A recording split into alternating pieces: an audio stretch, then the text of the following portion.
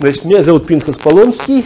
Э, я последние 15 лет, я вообще занимаюсь э, э, изучением учения Рава Кука. Есть несколько книжек на это, переведенных в том числе на английский и на иврит. Можете посмотреть. А по-русски такая большая книга. Но последнее время, последние 15 лет я занимаюсь написанием комментария к Таре на основе концепции Маниту. Э, концепция Маниту, как вы знаете, была опубликована, ну, опубликовано даже не то слово, потому что нет одной книги, где он опубликовал этот текст, есть э, его лекции, э, которые он начал читать где-то после Второй мировой войны, и его концепция на сегодня э, во франкоязычном сообществе известна, более или менее религиозно-сионистском, кроме этого сообщества, она практически неизвестна. На иврите только в самое последнее время стали выходить книги учеников, которые стали брать его записи и превращать это в тексты, но, в общем, концепция Маниту э, нормально не опубликована. То есть есть из нее отдельные куски фактически. А концепция Маниту в отношении Тары вообще нет такой книги, не существует. Теперь, я сам учил все это у Рава Ури Шерки, Э, у которого, от которого я знаю всю, ну, всю концепцию Маниту, а также я являюсь его последователем в основном в вопросе Бнейнох и в других вопросах всех модернизаций. Э, я не вполне, моя точка зрения с ним не вполне совпадает, у нас есть разногласия, но в целом на 90% я поддерживаю, не просто поддерживаю концепцию, а я научился у Рава Шерки э, всему этому подходу. И считаю, что он, в общем, ну, самый центральный раввин сегодня в Израиле, который проводит религиозную революцию. Вот. Но э, вернемся к Маниту. Значит, для тех, кто не знает э, про Маниту, э, это Рав Иуда Леон родился в Алжире в 1922 или 4, я сейчас точно не помню, э, в семье главного раввина Алжира – в этой, эта семья э, происходит по прямой линии от одного из учеников Аризаля, и в его семье была кабала, которая передавалась именно в его семье. То есть эта кабала не была опубликована. Это была личная, это как бы семейная передача в узком кругу. Э, сам Рав Иуда Леон э, еще в молодости во Фран... в Алжире э, получил хорошее религиозное, а также светское образование начал получать. Началась Вторая мировая война, он воевал во французском сопротивлении. После Второй мировой войны он переехал во Францию и был одним из главных э, восстановителей, если можно так сказать, еврейства Франции после Второй мировой войны. Было три главных человека. Это АНДНР, Левинас и Маниту три, три наиболее так, значимых франкоязычных э, еврейских лидера после Второй мировой войны. Э, в, после войны 1967 года э, Маниту сказал, что пришло время переезжать в Израиль, что война 1967 года это водораздел, который переводит центр окончательно в Израиль. Он э, переехал в Иерусалим и стал хеврутой, то есть э, напарником учебы Раба Цвиуда Кука, который возглавлял Ешиву Мерказарав и э, влился целиком в Мерказарав и стал лидером э, уже франкоязычных и религиозных сионистов в Израиле. То есть он был еще во Франции, лидер франкоязычных религиозных сионистов, потом после, 7, после э, 67 года в Израиле и умер в Иерусалиме в 96 году. Э, и э, его учение, он фактически начал это преподавать все во Франции после войны и продолжил в Израиле. То есть фактически ту традицию каббалистическую, которую он изучил в детстве, семейная каббалистическая традиция, он ее интегрировал со светской европейской культурой во Франции послевоенной, а потом с учением Рава Кука уже в Израиле. Тем самым на сегодня концепция Манито – это интеграция первоначальных каббалистического подхода его семьи, э, светской, европейской, прежде всего французской культуры и э, религиозного сионизма именно в школе Рава Кука. Э, теперь, что, э, специфи... как я уже сказал, он не писал, не пис... практически не печатал книг, он учил устно, и все ученики говорят, что то, что он учил на иврите, это э, в лучшем случае 10% от того, что он преподавал по-французски. Э, я однажды слышал, да, да, все франкоязычные религиозные сионисты, они все его ученики. Я однажды слышал даже от раба Венея такую фразу, что Маниту, в общем, не говорил на иврите. То есть не то, что он не говорил, он, конечно, говорил, но то уровень того, какой у него был по-французски, то, что он передавал по-французски, он никогда это не высказывал на иврите с таким, э, в столь всеобъемлющей форме. Что настоящее учение Маниту можно только по-французски получать. А на иврите читать его совершенно или слушать его лекции совершенно невозможно. Я, честно говоря, не слушал их на иврите сам. Я все учил от Иава Шерки. Э, и в основном все, что как бы мой подход, я не могу даже отделить, где это Иав Шерки, а где Маниту. Это как не это идет единый комплекс уже. Теперь, э, главное, и вот по этому подходу, в соответствии с этим подходом, и написан комментарий «Библейская динамика», и поскольку э, даже на иврите это не издано в одной книге, то фактически это первое изложение вообще всей концепции Манитух Таре. Сейчас эта книга переводится на английский. Сейчас уже есть четыре части из пяти. На, на бытие исход числа и второзаконие это уже опубликовано. На бытие исход сейчас есть второй, второе издание и готовится еще там переработанное, может быть, сделал третье. На левит э, я сейчас дописываю, и э, на английский переведена половина бытия, и она должна быть опубликована осенью. И планируется, соответственно, перевод, на, издание по-английски еще на нескольких европейских языках. Э, поскольку это действительно первый раз, когда эта концепция публикуется. Фактически она не опубликована была до сих пор. Немножко смешно, конечно, что для мира она переводится с русского на английский, вместо того, чтобы кто-нибудь изложил по-английски изначально. Вот, опять-таки, я даже на иврите не, нет книги, потому что лекции Рава Шерки они есть в аудиозаписях, но их нет в виде книги. Рав Шерки до сих пор не издал, он издает много других книжек, но комментарий к Таре он еще э, не собрался издать. Поэтому получилось, что эта книга, первая, первая публикация концепции Маниту идет по-русски, а не на другом языке. Теперь, в чем состоит главная революция, которую делает Маниту? Чем здесь как бы главная суть дела? Значит, э, прежде всего, это рассмотрение персонажей Тары как развивающихся личностей. Этого не было никогда. То есть большинство всех комментариев всегда рассматривало персоны, персонажи Тары как некий э, образ статичный, а не как образ развивающийся. То есть, кем был Авраам, это сколько угодно можно, кем был Моисей, кем был Ицхак, у каждого есть своя категория, это все классика. Но посмотреть, как сам Авраам развивался, как сам Моисей развивался, этого не было. При том, что в нашей традиции есть понятие нисайон, то есть испытание. Авраам испытывался десятью испытаниями, и там Авраам, Ицхак, Яков, и они как-то менялись в ходе этих испытаний. Но суть изменений я никогда не видел ни в одном классическом комментарии, в котором было бы обозначено точно, как изменялся Авраам и как изменялся Моисей.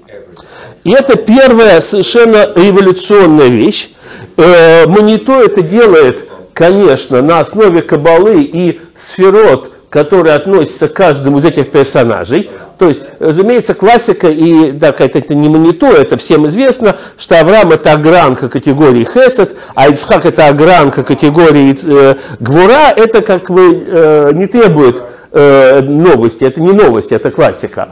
А вот как происходило изменение позиции Авраама, что именно с ним происходило при каждом испытании, вот этого нет э, в классике. То есть рассмотрение, что каждая история Тары должна быть рассмотрена не в том смысле, что мы из этого учим, а в том, что они из этого учили. То есть, что Авраам выучил из каждой истории, которая с ним была. Вот такого комментария не было никогда раньше. Это первое, и то же самое Ицхак, и Моисей, и все праотцы, все э, персонажи Тары. Это первый совершенно, совершенно революционный подход, абсолютно новый. Теперь, второй подход, второй аспект этого нового подхода, это то, что концепции Тары тоже рассматриваются в развитии. То есть эта книга называется в итоге «Библейская динамика», в смысле библейское развитие, развитие в самой Таре. Э, теперь, э, ну, например, рассмотрим простейший пример, который нам э, будет понять, будет хорош для примера. Например, э, как вы знаете, есть в Таре два разных подхода к десятине. Как вы хорошо знаете, в одном месте Тары сказано, что десятину надо отдавать левитам. В момент, когда левиты заменяют первенцев – первенцы, как бы первенцы, когда они были духовными лидерами, их пропитание, оно в семье. А когда левиты стали духовными лидерами, то это совершенно отдельное колено, которое только занимается теперь духовной работой, а с чего они будут вообще жить. И десятина отдается левитам. Теперь, э, мы знаем, что сама идея десятины, она появляется гораздо раньше. Десятина у нас появляется в книге «Бытия», два раза есть десятина, когда Авраам отделяет десятину э, э, Молхицедеку, это первый раз, и второй раз, когда Яков э, говорит, что э, сон с лестницей, что все, что я получу, десятую долю я отдам тебе. То есть у нас идея десятины, идея, что 10, э, десятую часть надо отдавать Всевышнему, эта идея у нас в книге Боишит, в книге Бытия. Но как же это реализовать? Как именно я должен эту десятину отдавать Всевышнему? Это, разумеется, в книге Бытия нет. Вся книга Бытия – это только концепции. Теперь, а как это реализовать? Первая реализация, которая у нас есть, это отдавать ее левитам. Э, когда левиты заменяют первенцев, то мы решено, что мы отдаем левитам десятую долю урожая. Теперь, но в книге Второзакония указана совершенно другая концепция десятины. И там сказано, что ты отделяешь десятину, берешь ее, идешь в то место, где храм Всевышнего, где религиозный центр, и там э, празднуешь семьи, ты, семья, веселишься и радуешься при храме. Это совершенно другая концепция, которая ну, никак не соотносится с первой. Теперь, это, как, это всем нам известно, так представлена десятина в Таре. То есть идея в книге Бытия и дальше две реализации, совершенно разных. Теперь, как к этому подходит Галаха, к этому противоречию? Подход Галахи такой. Это первая десятина, это вторая десятина.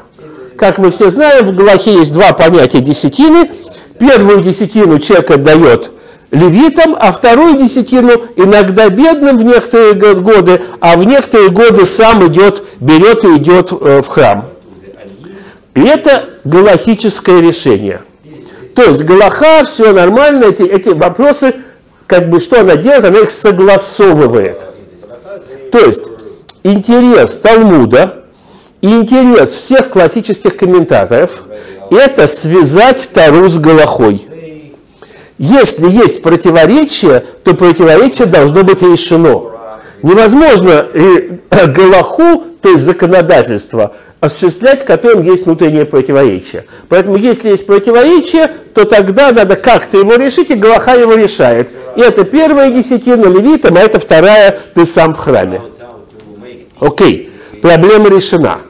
Но теперь зададим совершенно другой вопрос. А зачем это противоречие есть? То есть, не как решить это противоречие, а зачем оно вообще есть?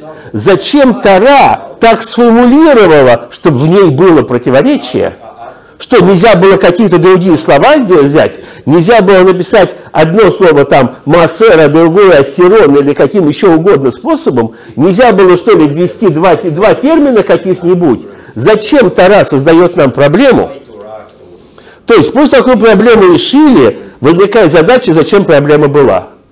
И вот здесь вот приходит мониту. Вот на этот вопрос комментаторы не отвечают обычные. Как согласовать, это известно из Талмуда, и все комментаторы, разумеется, это упоминают. Но зачем проблема есть, комментаторы не говорят. Не было в э, комментаторской парадигме задавания такого вопроса. То есть комментаторская парадигма не спрашивала, зачем Тара поставила нам проблему. Комментаторская парадигма спрашивала, как мы проблему решим. А Маниту задает совершенно другой вопрос. Зачем у нас была проблема? И отвечает совершенно иначе. Он говорит, что после того, как мы решили, что мы делаем с десятиной, у нас есть эволюция идей. Первое, что мы говорили, это эволюция людей, то есть взглядов людей, развитие людей. А есть еще развитие идей. И с точки зрения развития идей нам очень важно, что сначала идея отдавать десятину левитам, а потом идея использовать ее самому. Потому что начальная стадия – это человек думает, кто я такой, чтобы служить в храме. Но я никто, я вообще, что я полезу в это дело? Пусть кто-нибудь за меня служит. Вот есть левиты, я им отдам, я с ними связан, они за меня все, что нужно, прочтут, они, священники за меня жертву принесут, все нормально, больше мне ничего не надо. Это первая стадия развития в книге Второзакония представлена другая стадия развития, что ты не должен кому-то отдавать, ты должен сам это реализовать. Ты пойди сам празднуй в храме, будь ты сам, будь левитом. То есть, что человек должен сам реализоваться как левит. И даже есть место во Второзаконии, когда там вопрос э, первенцев скота, что человек себя реализует как Карен. Он, он должен как священник сам быть по Галахе он этого не делает. Потому что первенцев скота невозможно разделить на одних первенцев и других первенцев. Поэтому по Галахе он отдает их священнику. Но э, э, идея, что ты сам как священник и ты сам как левит, эта идея есть идея книги Второзакония. То есть Маниту прослеживает и так со всеми идеями, так со всеми противоречиями в Таре. Задача не решить противоречие, задача объяснить смысл этого противоречия. И смысл всегда раскрывается в качестве развития идей. И вот это вторая совершенно важнейшая особенность Кабалы Маниту и, соответственно, подхода библейской динамики. Это вторая разница. В связи с этим становится очень важным контент, контекст. Обычный комментарий рассматривает только локальный контекст, но не глобальный контекст. То есть является стандартом для комментаторов рассмотреть смехут паршиет, то, что называется. Когда два отрывка есть рядом, вот тогда почему этот отрывок написан здесь, а вот соседний отрывок, он влияет и есть связь между отрывками. Это я бы назвал локальным контекстом. Глобальный контекст комментаторы не рассматривают практически никогда. То есть спросить, почему этот отрывок в книге Бамидбар, а не в книге Левит, вот такой вопрос не задается. Почему это в этой части книги, а не в другой части книги, такой вопрос не задается. Задается всегда обычная комментаторская парадигма, это локальный контекст. Мавиту эту парадигму меняет – для него это глобальный контекст. Рассмотрим простейший пример. Простейший пример, вот э, в прошедшем недельном разделе, если по Галуту, э, э, по э, счету недельных разделов в диаспоре, у нас был раздел Хукат. И в разделе Хукат он начинается, как мы все помним, с красной коровы, с истории красной коровы, пора дума. Э, и э, все комментаторы, разумеется, комментируют саму красную корову. В лучшем случае они ее комментируют в привязке к смерти Мирьям и к тому, что не было воды на таком уровне, но они не рассматривают красную корову в контексте книги чисел в целом и в контексте раздела Хукат. В то время как если мы ее посмотрим в глобальной перспективе, то мы получим следующее – что вся книга чисел состоит, собственно, из двух половин. Все, что до раздела Хукат, это первый год из э, пустыни. Все, что с Хукат и дальше, вот прямо от красной коровы, это все последний год в пустыне. То есть есть первый год и последний год. Серединки нет. 38 лет в середине пропущены. То есть с Хукат начинается описание последнего года. И что такое последний год? Последний год – это война. Потому что и весь раздел Хукат, он фактически рассказывает про войну. Это раздел войны. И мы совершенно это упускаем, потому что сначала красная корова, потом история, как Моисей ударил по скале. И эти истории в основном в нашей голове, а все, ну, они занимают маленькую часть, а дальше сплошь идет война. Э, столкновение с Идомом, где они вступили, потом столкновение с Арадом, где они воюют, потом столкновение с Сихоном и война за Зайордание, потом экспедиция на в Голаны. То есть э, против Ога. То есть весь раздел Хукат – это раздел войны.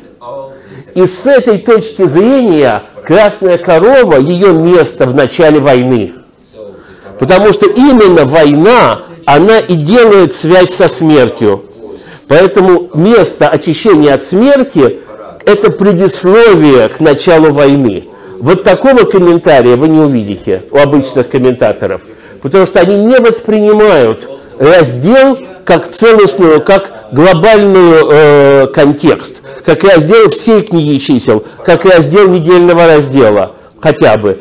И вот это опять-таки с точки зрения маниту очень важно, где появляется та или иная запись, э, заповедь, какой она имеет связь, э, почему именно в этой книге, почему в этой части книги. И это тоже обеспечивает нам совершенно другое понимание динамики, которая есть в Таре. Окей. Okay. Это еще один пример.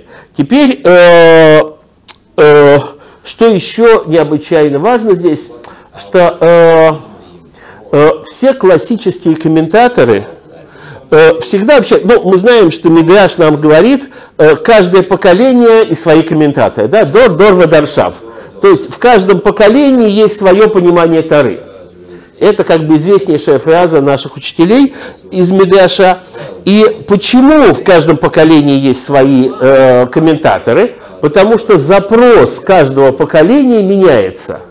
Ведь каждый комментатор, мы его очень часто воспринимаем комментаторов Раши, Рамбана и Ибнезу как э, духовных лидеров, забывая несколько о запросе, который есть в соответствующее время. На самом деле каждый из них отвечал на определенный запрос, запрос своей эпохи.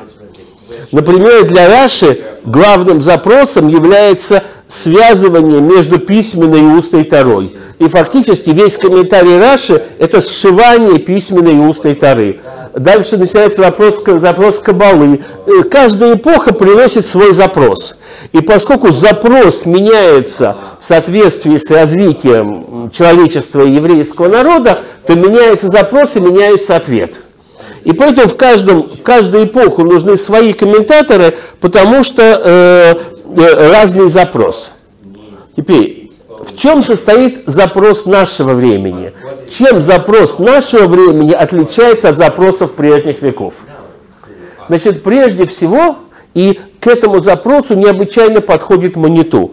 Причем, э, если мы так подумаем, э, почему именно маниту, то изначально это не очень понятно. Маниту – это каббалистическая традиция, которая идет, ну, по крайней мере, от э, Аризаля. Почему она именно к нашему времени подошла? Я не знаю почему, но факт, что она подошла.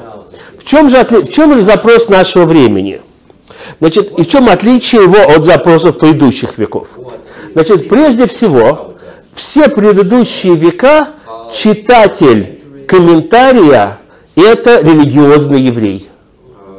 То есть комментарий обращен к разным людям, но все они внутри традиции. Все они не просто евреи, все они соблюдающие евреи. Но в наше время, в последнее время появились, может быть, комментарии для несоблюдающих евреев. Но в любом случае для евреев – все комментаторы обращены к человеку внутри традиции. А наш запрос – это читатель вне традиции, которого не было в предыдущие века. Этот читатель вне традиции возник из двух точек. Первый источник читателя вне традиции – это евреи, которые уже так далеко отошли от традиции, что они смотрят глазами уже не еврейского мира и западной культуры, а не еврейскими глазами. Второй – это не еврейский читатель. И мы знаем, что интерес нееврейского читателя к еврейскому учению возрос необычайно. И понятно, что источник этого интереса – это государство Израиль. То есть самый мощный импульс, самая мощная энергия, которая в мире поворачивает нееврейский мир к интересу к иудаизму, это, конечно, просто само государство Израиль. Феноменальный успех Израиля мы внутри не совсем замечаем. Нам кажется всеми скандалы, кошмары, проблемы, детали. Мы забываем, что снаружи это величайший успех. Что на, на пустом месте создано государство феноменально успешно. Это для нас все время премьер-министр не такой, и где у него сигары, и почему его жена сдает бутылки. Но э, э, снаружи видно все совсем иначе. Снаружи это потрясающий успех, и фактически мы возрождаем Танах. То есть понятно, что чем, чем занимается сегодняшний Израиль, он пишет новые главы Танаха. Это как бы очевидно. По-русски это хорошо звучит, что мы пишем новые главы Ветхого Завета. Э, значит, да, по-английски можно также, наверное, сделать, да? Что вот, да, к Старому Завету мы добавляем новые главы. Вот. Да, так вот, это, это реальность, которая не зависит от нас, она реальность извне. И это обеспечивает огромный интерес нееврейского мира к Израилю. Но мы все знаем высказывание наших мудрецов, что э, учение бедняка никому не интересно. То, чему учит ну, бедный человек, это неинтересно, это его проблема. Это называется, что если вы такой умный, почему же вы такой бедный, да, как это та самая фраза. Вот, что если уж ты взялся кого учить, ты сначала докажи, что ты вообще что-то стоишь. И поэтому, пока Израиль не является успешным, мы ничего не можем никому научить. Кстати, у нас, как в наших недельных разделах э, Хукат и Балак, это очень проявляется. Сначала нужно победить в войне, потом народы мира начинают думать, что делать с евреями. Пока мы не победили в войне, а всем безразлично. Но как только мы успешны в войне, тут сразу возникает проблема. Это то же самое в сегодняшнем мире. Когда Израиль побеждает, то всем интересно, чему же евреи хотят сказать. И поэтому интерес огромный во всем мире создает запрос извне традиции, запрос посторонних людей. И классические комментарии фактически не подходят к этому запросу. Они не отвечают на этот запрос. И поэтому нужен совершенно новый комментарий, который ответит на запрос людей извне традиции. И в этом смысле э, очень часто, когда, да, я пишу этот комментарий, я всеми говорю, что я пишу его не для евреев, я пишу его для всех.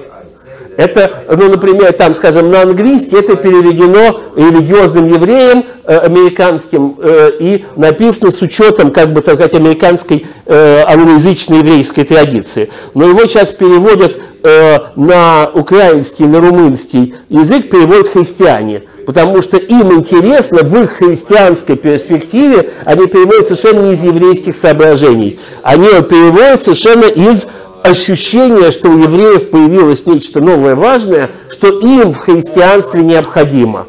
И вот это, мне кажется, самым главным. То есть евреи должны писать так, чтобы христианам было интересно читать. Это совершенно необходимая вещь, которую мы должны сделать. И вот этот вот этот комментарий, он отвечает этому запросу. Потому что, и когда меня иногда спрашивают, а почему вы занимаетесь не евреями? Я, кстати, много читаю там лекций в разных э, христианских местах, церквях, университетах христианских. И когда мне говорят, а зачем вы занимаетесь не евреями? Лучше же, наверное, заниматься евреями. То я всегда отвечаю, что евреи настолько вовлечены в нееврейский мир, что невозможно вернуть евреев к Таре, не возвращая их вместе со всеми неевреями. То есть у нас евреи настолько уже интегрированы в западный мир, что невозможно евреев отдельно вернуть к Таре. Надо повернуть к Таре весь западный мир. И вот это, и этому отвечает именно Маниту, потому что он отвечает на вопрос внешнего читателя. Теперь, что такое запрос внешнего читателя? Чем запрос внешнего читателя, еврея или христианского читателя, вообще нерелигиозного исследователя, чем он отличается от еврейского запроса?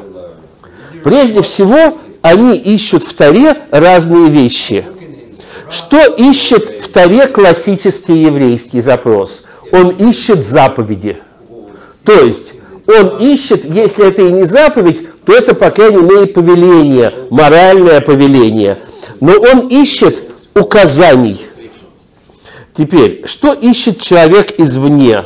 Он ищет ценности, он ищет идеалы, он не ищет указаний, он не ищет заповедей, он не ищет как детали, какими деталями и как мы должны соблюдать ту или иную вещь.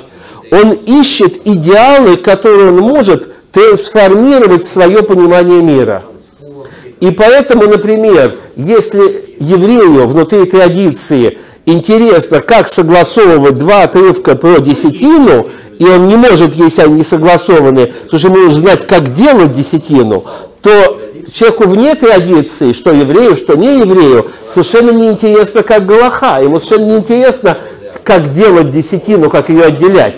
Ему интересно, какие идеалы он может из этого выбрать. И когда он видит идеал, сформулированный так, что сначала есть служение Богу и связь с Богом через кого-то, через того, что я кому-то что-то отдаю и назначаю своим заместителем, а на следующем этапе я должен сам в это войти и никого не назначать вместо себя. Вот здесь он видит это развитие идеала, которое ему интересно для его жизни. Он не должен для этого становиться евреем или э, э, менять свои, э, свою религию, менять свои конфессиональные или какие-то другие установки. Это добавляет ему к его концепции, и это необычайно важно. То есть, если это в одной фразе, то это не заповеди, а ценности. И вот это вот эта разница, что не заповеди, а ценности, это и есть запрос современного мира. И как ни странно, этому отвечает Кабала Маниту. То есть в итоге мы видим следующие главные запросы. Первое – это запрос на развитие – Потому что если мы читаем книгу, нам необычайно интересно, как развиваются персонажи, как развиваются идеи. Сама концепция развития, которая просто встроена во всю цивилизацию, в иудаизме не находила полноценного выражения. А здесь она находит свое выражение. Это первый, первый аспект. Второй аспект, что персонажи Тары должны быть живыми людьми, а не картинками – не, э, так сказать, образами стандартными и статичными, а должны быть люди, которые сомневаются, развиваются, пересматривают свои взгляды, меняются. Вот этого ничего не было. Это второй аспект. Значит, развитие идей, развитие людей, идеалы, а не заповеди. Э, и э, общая установка на универсализм. Что такое общая установка на универсализм? Это значит, что Тара говорит не только евреям, она говорит человечеству. Она говорит всем. И если она говорит всем, то она должна вмещать в себя все аспекты жизни.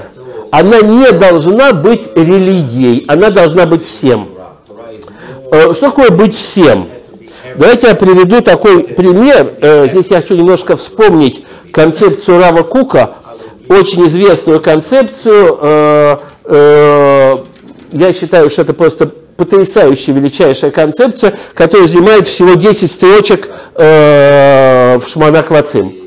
Э, э, концепция Раба Кука о, которую можно назвать программа развития иудаизма. Э, Рав Кук опубликовал ее, ну не опубликовал, неправильно сказал, Рав Кук написал ее в 1910 году а в одном из своих дневников – она была опубликована в книге «Урод» в 23 году, «Урод» был опубликован, в 21 году э, Рав Цвиуда опубликовал ее в «Урод», э, и э, эта концепция одна из самых фундаментальных основ религиозного сионизма, хотя мы не всегда это как бы в нашей жизни помним. Концепция Рава Кука состоит в том, что если мы возьмем весь еврейский социум, то мы можем выделить три основных идеологических концепта. Опять, это 1910 год, начало 20 века, до Первой мировой войны. Три основных группы, он называет их идеологические группы в еврейском народе. Одна группа – это ортодоксы, для которых главное это Тара и заповеди, изучение Тары и соблюдение заповедей.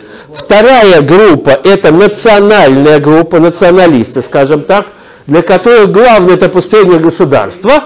И третья группа – это универсалисты, для которых главное это общечеловеческие ценности. Это тривиальный социологический анализ, который Равкука значит, э, сформулировал на 1910 год. Я думаю, что кроме Равкука вполне многие-многие могли такой анализ провести. Это тривиально. А вот нетривиальная революция, это следующая фраза Рава Кука, где он пишет, что э, самая главная ошибка – это думать, что развитие религии – это развитие группы ортодоксов. Ничего подобного. Развитие религии и дальнейшее развитие иудаизма – это интеграция ценностей всех трех групп. То есть для правильного развития иудаизма нужно интегрировать с э, ортодоксальными ценностями классическими, с ними интегрировать национальные ценности и с ними интегрировать универсальные ценности. Потому что, говорит Равкук, э, исходно все они содержатся в Таре. Исходно они все содержатся в иудаизме. Но когда еврейский народ ушел в изгнание, то необходимо было сделать такое самосокращение, которое называют катнут – то есть малость. Нужно было стать маленьким, чтобы залезть в норку. В норку не залезешь, если ты очень большой, толстый. Поэтому, чтобы залезть в норку, нужно скукожиться, спрятаться. И поэтому пришлось выкинуть национальное, выкинуть универсальное, залезть в норку, чтобы сохраниться. И это стадия катнут. Это иудаизм в диаспоре, в изгнании. Малость, стадия малости, ну, я не перевел. Э, то есть иудаизм в диаспоре – это иудаизм маленький. А нормальный иудаизм – это иудаизм большой, в котором есть не только стандартные э, идеалы ордоксальные, но и идеалы национальные, идеалы универсальные. Все это пришлось отбросить, не от хорошей жизни. Если бы у нас сохранялись идеалы национальные, то восстание против Рима чуть не привели к разрушению еврейского народа, вообще к гибели. Если бы у нас сохранялись идеалы универсальные, то народ бы разбегался реализовывать эти идеалы. В изгнании нужно было всех загнать то, что называется четыре локтя Галахи, э, шаг вправо, шаг влево, расстрел. И э, это ситуация изгнания для того, чтобы выживать. Но это не идеал. Идеал это иудаизм большой, который называют гадлут. Величие, иудаизм величия. Иудаизм величия включает в себя и ортодоксальные, и национальные, и универсальные идеалы. И это и есть программы развития иудаизма. В общем, все это более-менее, это э, ну, одна полстранички э, в одном из дневников Раба Кука. Теперь, если мы дальше посмотрим на развитие э, школы Раба Кука, то за прошедшие сто лет произошла полная интеграция ортодоксальных ценностей и национальных. Собственно, эта интеграция, это и есть создание религиозного сионизма. Вся школа Равакука, все разные типы, что они модернисты, что они хардаль, самый-самый хардаль, то есть самая-самая харидимная часть э, школы Равакука все равно интегрирует все национальные ценности. То есть, э, э, эта интеграция и на этом, на интеграции национальных ценностей, собственно, и произошел раскол между школой Рабакука и Харидим. Э, суть раскола – это именно интеграция или не интеграция национальных ценностей в э, иудаизм в добавление к ортодоксальным ценностям. То есть этот этап пройден за прошедшее время. Фактически сегодня начался этап универсальной интеграции универсальных ценностей. Это вот ровно то, что я рассказывал в предыдущем докладе а именно выход иудаизма к человечеству. И он есть в разных формах. Одна форма Рава Гинзбурга, другая форма Рава Шерки, э, третья форма э, интеграции осмысления других раввинов. Но в целом вот именно главное, главный модернистский тренд в современном религиозном сионизме – это то или другое, по-разному все делают, интеграция универсальных ценностей в иудаизм. Интеграция универсальных ценностей – это прежде всего обращение к человечеству, а не только к евреям. Это как бы общий базис. Это интеграция науки, это интеграция искусства, это интеграция самого процесса развития. Вся эта интеграция является фактически следующим этапом развития религиозного сионизма. Поэтому на сегодня внутри религиозного сионизма есть раскол между тем, что называется хардаль, и модернистами. Хардаль – это те, кто считает, что той интеграции, которая прошла с национальными ценностями, больше не надо. Хватит нам первого этапа интеграции, мы интегрировали национальные ценности, теперь остановимся. Это, собственно, есть суть движения хардаль. То есть харидимной части религиозного сионизма. Хардаль – это э, харидимный религиозный сионист, такое сокращение на иврите. А э, вторая половина религиозных сионистов, то есть модернистов, говорят, нет, первый этап мы прошли, а теперь пошли на второй этап. И фактически это главное столкновение внутри религиозного сионизма.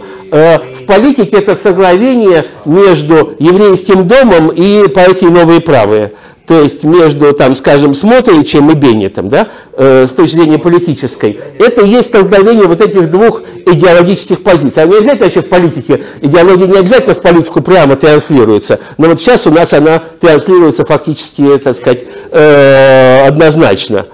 Э, потому что разница, это не разница та или иная политическая, это разница в идеологической позиции. Должна ли, должен ли иудаизм интегрировать универсальные ценности или нет?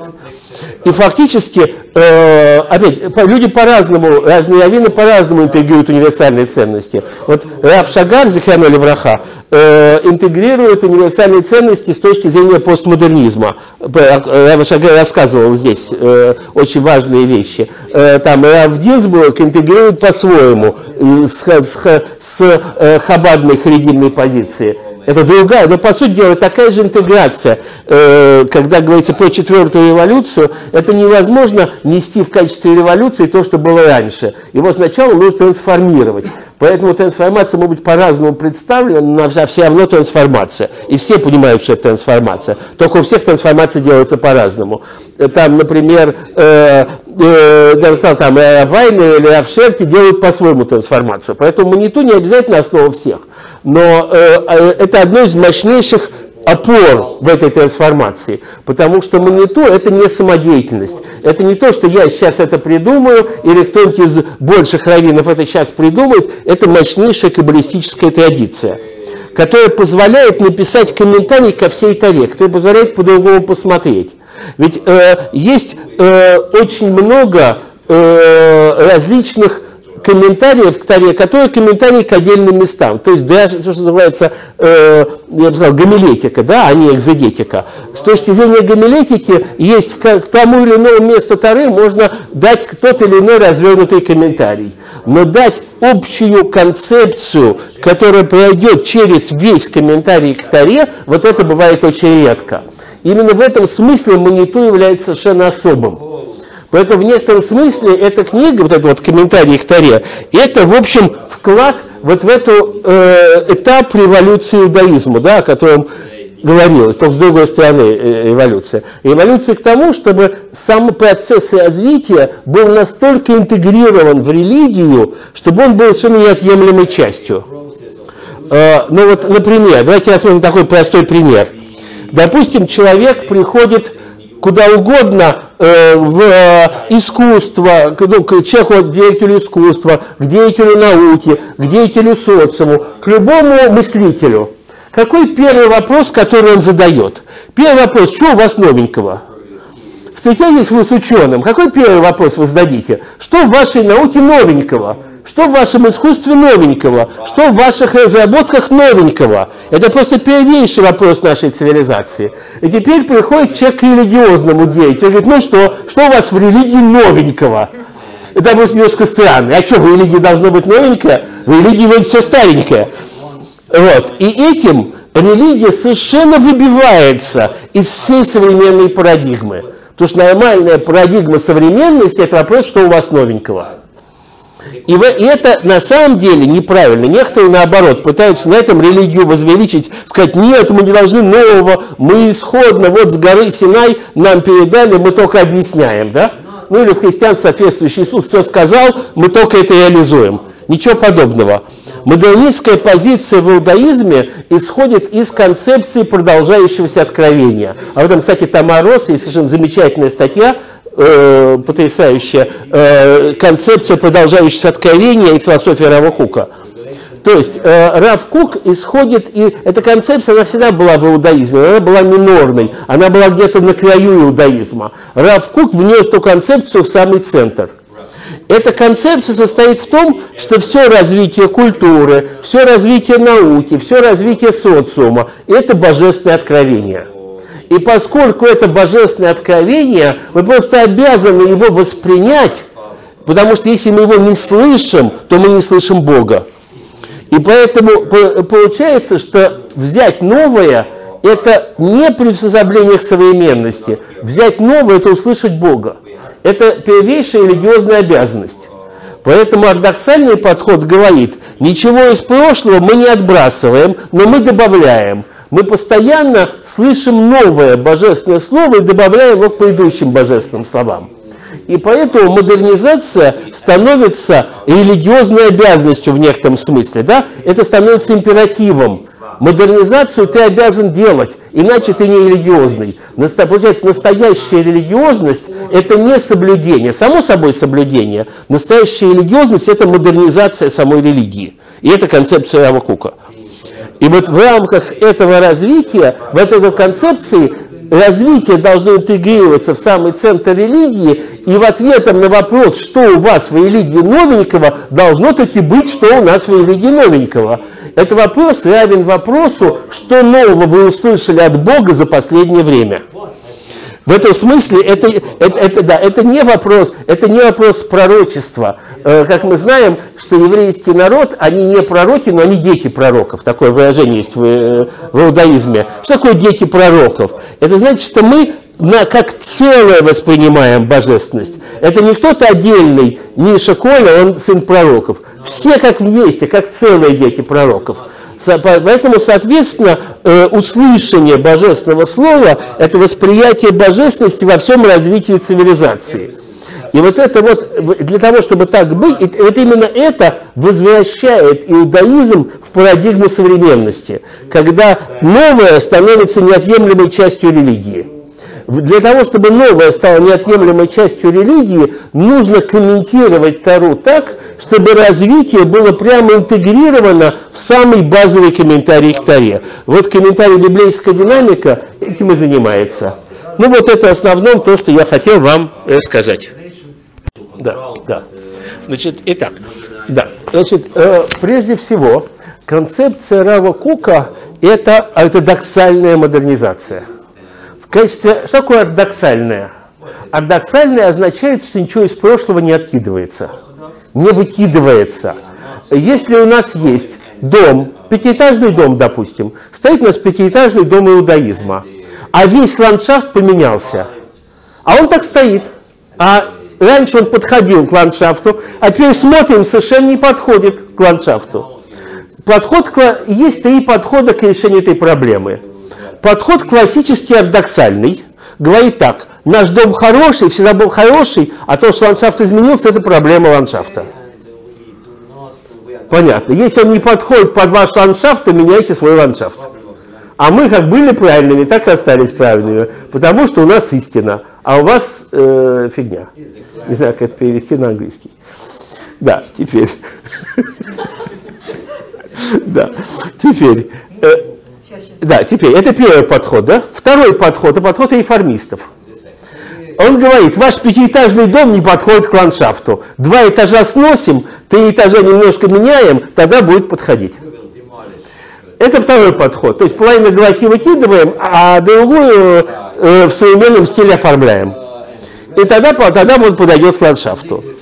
Подход Рава Кука, то есть ортодоксальная модернизация совершенно иной. Он говорит, действительно, дом не подходит к ландшафту, потому что пяти, пятиэтажный дом устарел. Мы построим 20-этажный дом, в котором этот пятиэтажный домик будет его частью, изменим фундамент, поставим новые совершенно колонны, Равкук меняет весь фундамент, это вообще отдельная у него работа, просверлим новые дырки, поставим новые сваи, возведем 20-этажный дом, и вот тогда он будет отлично подходить к, э, к окружающему. То есть для того, чтобы, чтобы иудаизм подходил к современности, нужно его увеличить, а не уменьшить. Это разница. Реформисты говорят, надо уменьшить. Сегодня пятиэтажные дома не в моде. Рафу говорит, ничего подобного, надо увеличить. Правильно, сегодня пятиэтажные дома не в моде, но двадцатиэтажные будут отлично смотреться. Поэтому прежде всего это увеличение. Увеличение чего прежде всего? Это большая разница. Если реформистский подход – это уменьшение убрания галахи, то у Рава Кука это увеличение смысла. И это важнейшее понятие «смысл». Вообще понятие «смысл», которое в современной культуре необычайно возросло благодаря Франклу и всем его работам по психологии, понятно, что без смысла ничего не работает. Чтобы что-то было принято, оно должно иметь смысл. И вот этот смысл мы должны добавить. То есть, если с точки зрения реформистов проблема иудаизма – это слишком много законов, то с зрения Раба Кука проблема иудаизма – это слишком мало смыслов.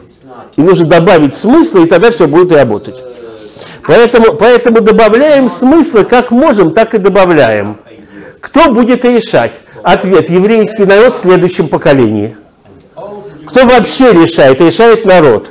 Например, Веленский Гаон наложил херем на хасидов. Сегодня этот херем не действует. Кто отменил херем? Не было такого равина, который взяли, собрались, проголосовали, отменили херем. Народ херем отменил. Э, во времена Мишны были разные установления, там, ну, мы знаем, что нееврейское вино, оно галахически запрещено. Но были разные другие законы, типа нееврейского масла, например. Народ решил, что этот закон не годится. Поэтому какой народ, э, какой, какой закон или принцип народ одобрит, то и будет.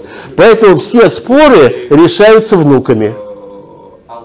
Что внуки решат, то и будет что внуки постановят, что это подходит, то и будет ортодоксальным иудаизмом. Да. Так, да. Да, пожалуйста. Вы в своем докладе несколько раз использовали такой термин национальные ценности. Да. В принципе, что понимает религиозный сионизм э, для множество категорий еврейского народа, которые далеки я, от религии. Я, я, вы меня спрашиваете, что такое национальные ценности. Ответ. Национальные ценности – это та идеология, которая была в начале 20 века у нерелигиозного сионизма. Нерелигиозный сионизм – это есть национальные ценности. То есть это нормализация еврейской жизни – в своей стране, освоение страны, создание экономики, создание безопасности, создание функционирующего государства, чтобы еврейский народ имел не меньше э, нормальной жизни, чем все другие народы. Это и есть национальные ценности. Почему из диаспоры? Национальные ценности – это ценности религиозного сионизма. Это ценности сионизма, не религиозного, просто ценности сионизма. Национальные ценности – это не то, что вы считаете ценности народа. Под национальными ценностями понимаются ценности сионизма в, в, это, в этом, в этом э, дискурсе. То есть, э, ту, во времена Кука абсолютное большинство еврейского народа жило вне Да, совершенно верно. Они что, вообще не рассматривали? Конечно. Потому что важно не то, где живет много народа, важно то, где центр продвижения нового. Туда все остальные прибегут, никуда не денутся. Важно не большинство, важно, важно активное меньшинство. Оно определяет будущее. Большинство ничего не определяет. То есть та часть народа оказывается вообще вне рассмотрения. Она... Наши с вами предки, которые жили в этой... Они, они прекрасно присоединились, наши с вами предки жили, когда были предки. А когда мы их потомки, то все совсем по-другому. Поэтому нельзя, нельзя предков из позапрошлого века притянуть в нашу современность. Они жили в другой ситуации, а мы живем в иной ситуации. И поэтому важно не что были с дедушками, а что будет с внуками. Дедушки жили в диаспоре, а внуки живут в Израиле. Это большая разница. Посмотрите, что, например, в России, когда я здесь жил, в Советском Союзе, было 5 миллионов евреев, а сегодня сколько? Осталось одна десятая, а через 20 лет останется еще одна десятая от того, что есть сегодня. Это, это реальность. Ну, не, не, знаете, народ, народ переместился. Точка. Да, ваш вопрос. Ну, во-первых, большое спасибо. Мне кажется, что ваши идеи вполне универсалистские и могут применяться не только к иудаизму, но и к другим авраамическим религиям. Да. Да, это, это, секундочку. Очень большое спасибо за, за очень важную отметку, что эти концепции применяются не только к иудаизму, но и другим авраамическим. Я хочу здесь добавить. Одну секундочку, одну секунду. Что как раз я осматриваю свою задачу не как превращение неевреев в евреев, то, что говорил Рав Гинзбург, и даже не как преобразование э, христиан в Бнейноах. Нет, наша задача помочь христианам провести такую же правильную модернизацию в христианстве.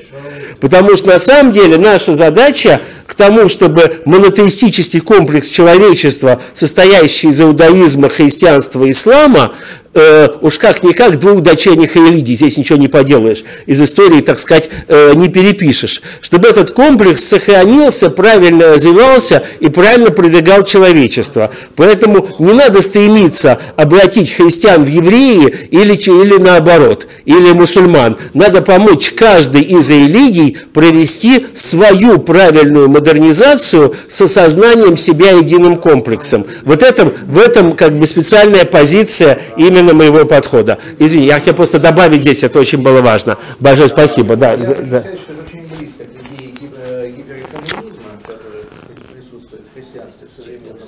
Вот. Но меня сейчас интересует не этот вопрос. да. Меня интересует вот 20, э, 20-этажный дом, включающий пятиэтажный, это очень заманчивая идея. Да. Но все равно, что-то включая обязательно, Да. должны что-то категорически исключить. Понимаете? Я Вот согласен, да, вопрос, я согласен. Что в модернизации, которая, так сказать, э, запланирована вами, ну, условно скажем, да, Да. будет категорически исключено, и каков будет принцип не включения, Понятно, я а все понял. исключения? Я понял, да, я все понял. Значит, значит, вопрос, исключается ли что-нибудь тоже? Ответ, конечно, что-нибудь по ходу исключается. Но исключается не фундаментальное, а исключаются ошибки, которые накопились за прошлые века. Раф Кук пишет об этом совершенно замечательно таким образом. Он пишет, иудаизме диаспоры имеются заусенцы. Такой важный термин – заусенцы. То есть, как бы вот, что такое заусенцы? Это то, что мешает нам правильно, э, так сказать, наше тело ощущать. И вот эти заусенцы мешают тому, чтобы иудаизм диаспоры был положен в основу возрождения иудаизма в Израиле. Поэтому на начальной стадии сионистского движения непременно есть отход от иудаизма диаспоры и заново построение его в Израиле, потому что заусенцы диаспоры мешают. Я это все время э, э, пытаюсь иллюстрировать следующей картинкой. Едет телега, и у этой телеги есть колеса. Вопрос, эти колеса круглые или не круглые? Ответ, ну, конечно, круглые, как бы она иначе ехала. На квадратных колесах телеги не едут, телеги едут на круглых колесах. Но степень круглости колеса телеги – это не то же самое, что степень круглости колеса автомобиля. Если эти колеса круглые для скорости 10 км в час, ну 15, а если 60 км в час, то они настолько не круглые, что они немедленно отлетят. Как колеса обычной машины и колеса гоночной машины. Колеса гоночной машины балансируют на круглость совсем с иными требованиями круглости, чем даже обычные колеса, обычные машины. Потому что 60 или 100 км в час – это не то же самое, что 200 км в час. И в этом смысле, да, действительно, в процессе балансировки колес приходится счищать заусенцы. Это не выкидывание, это пересмотр. Мне очень нравится, что э, э, Пинхас, вы всегда обращаетесь к метафорам и сравнениям, Да. но вы от меня не уйдете, я хотел бы конкретики. Назовите несколько пару заусенцев, которые надо, так сказать, составить. Э, Один раз. И пару этажей, которые конкретно надо добавить. э, То есть в виде идей. Да, значит, значит, в виде того, что надо, в виде того, что надо снять, я вам примеров не приведу. Это происходит в процессе реального развития Галахи в Израиле. Что надо добавить, я примеры приведу очень просто. Это интеграция науки, интеграция, ну, нет, во-первых, это- уже были добавлены. Уже была добавлена интеграция страны Израиля, интеграция государства, интеграция национальных идей, интеграция построения нормализации жизни в Израиле. Это уже добавлено. Уже. Не будет, а уже добавлено. Сегодня нам надо добавить развитие в науке, развитие культуры, развитие искусства. Все это надо интегрировать. Э, сам, саму концепцию развития, э, универсальность обращения к человечеству. Много чего, да я более-менее даже перечислил. Это все надо добавить. Это вам пример тех этажей, которые надо добавить. И если в науке это еще более-менее сделано, Раф совершенно выдающийся раввин середины, ну, второй половины 20 века, сделал очень сильную интеграцию с наукой, идеологическую, не, не, не техническую, а смысловую, то интеграция с искусством до сих пор не проведена. Нам ее еще придется сделать. И это часть нашей работы. Поэтому мы занимаемся именно развитием модернизации иудаизма, не сохранением. Это вектор диаспоры, это сохранение. Вектор страны Израиля – это развитие. Да. Окей? Okay? Да. Да, совершенно верно. Проявление предрассудков, исправление. Внутри. Да, вы, да, да, конечно, конечно. Это обычно бывает так. Как это, какой механика этого? Механика обычно такая. Есть в иудаизме всегда, в любую эпоху, разные точки зрения по всем вопросам. И это некоторые из этих точек зрения становятся мейнстримом, а другие становятся маргинальными. А потом ситуация меняется. То, что было маргинальным, вдруг разворачивается и становится мейнстримом, а то отодвигается в сторону. Вот это и есть процесс модернизации. То есть модернизация происходит прежде всего не через выкидывание чего-то из религии, а через переактуализацию. То есть вопрос, где вы поставите ударение.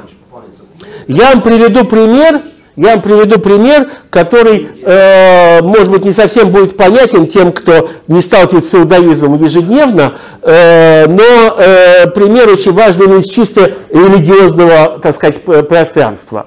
Э, как вы, наверное, знаете, и эту фразу знает любой человек, хоть когда-то с иудаизмом контактировавший, ну, еврей в основном в данном случае, э, это есть фраза «сделаем и услышим» на Асева Нишма. Эта фраза очень хорошо известна, что вот евреи на Синае, когда Бог дал Тару, э, или там предложил Тару, они сказали, сделаем и услышим. То есть сначала делай, потом поймешь. И эту фразу знают все, просто все. Возьми любого нерелигиозного еврея, который хоть когда-нибудь э, что-нибудь читал по иудаизму, эту фразу он знает. Потому, не потому, что она в Таре написана, она написана, а потому, что она всюду процитирована. Абсолютно всюду. Фраза из книги «Исход». Э, и она всем известна. Но очень мало кому известно, очень мало, что в книге в законе есть противоположная фраза. Наоборот, совершенно. Там сказано шаману в осину. То есть сначала поймем, а потом будем делать. Не сделаем и услышим, а ровно наоборот. И эту фразу никто не знает. Не то, что ее нет в Таре, а то, что ее не акцентировали. Потому что цитировали первую, а вторую не цитировали.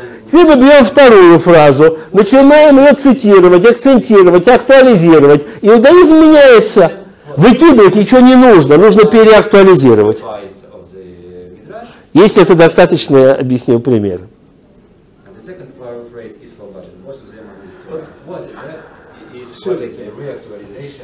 Я, я, я боюсь, просто, может быть, я кому-то мешаю задавать. Ты никому не мешаете.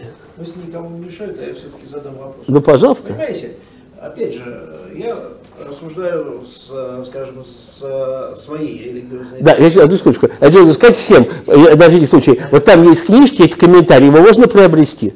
Э, все, все желающие на по-русски, вот они там лежат на столике, все желающие могут их приобрести и прочитать. А не только послушать от меня, о чем это. Вот все эти книжки, вон они там лежат. И другие книжки, центральные идеи Кабалы и проблемы современного иудаизма, они тоже там есть, и все это можно приобрести. Если мы говорим, вот опять же, что... Хорошо. Итак, поставлен был конкретный вопрос. Я постараюсь ответить на конкретный вопрос. Что такое интеграция науки? Это, вопрос еще продолжается, это что, решение про большой взрыв, это э, пусть будет свет, это большой взрыв, или это небольшой взрыв? И Дарвин, как его там с э, семью днями творения согласовать? Теперь ответ. Нет, это не тот вопрос. Вопрос совсем другой. Э, вопрос вот в чем. Является ли развитие науки религиозной ценностью? Является ли развитие науки заповедью? Есть ли такая заповедь создавать математику и физику? Э, в самом таком грубом приближении эта фраза звучит так. Лауреаты, лауреаты Нобелевской премии еврейские, они, э, сделав свои открытия в физике или в химии, они потрясающе продвинули иудаизм и вообще еврейскую религиозную концепцию, или они зря потеряли время, а лучше бы Талмуд учили. Это такое жесткое выражение этой, этой, этой дилеммы, да?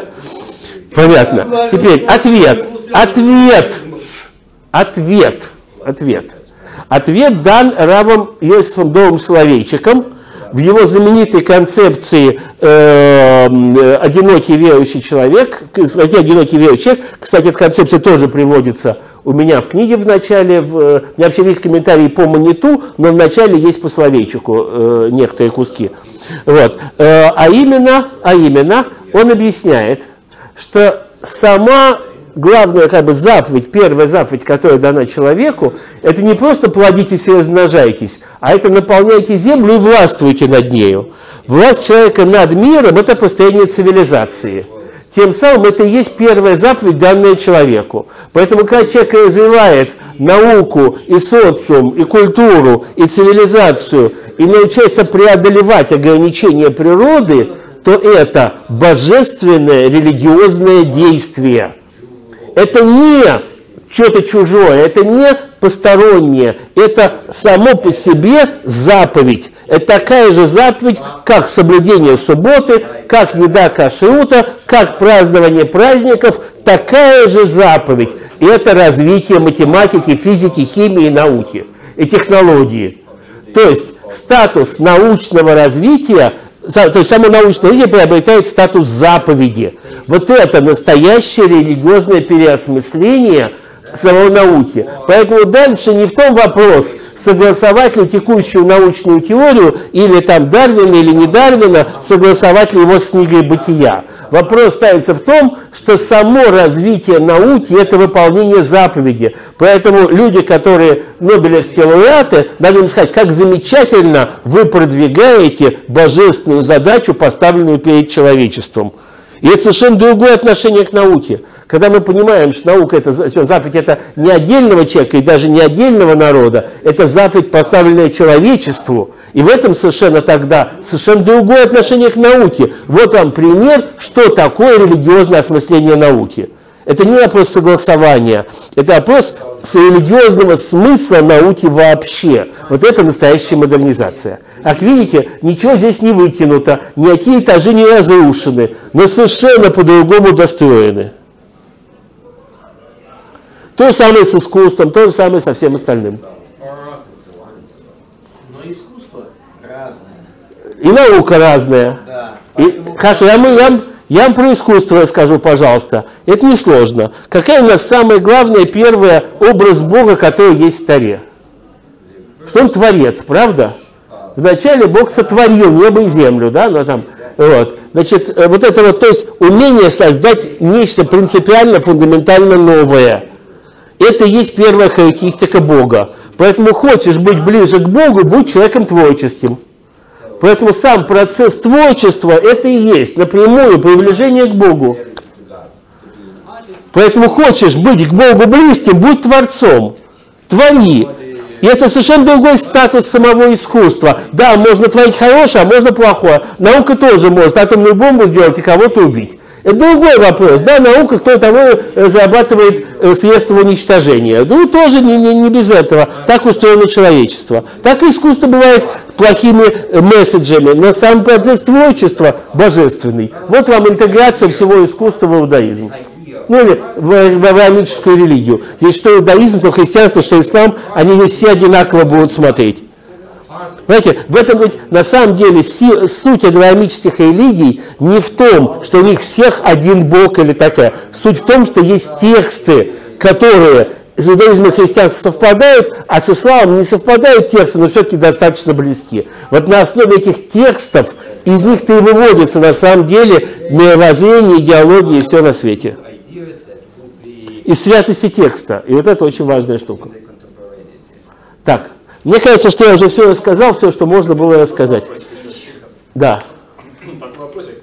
А, про плохую, про Да. Если в какой-то момент уже интегрированная в иудаизм наука вдруг заявит какие-то вещи, которые абсолютно являются И всегда заявляет. И ну какая разница? А наука может заявить что, что угодно антирелигиозное, так же как искусство может создать антирелигиозные произведения. И это текучка. А суть дела, что это заповедь. Поэтому можно, соблюдая заповедь, сделать что-нибудь неправильное. Ну можно, да. Жизнь так устроена.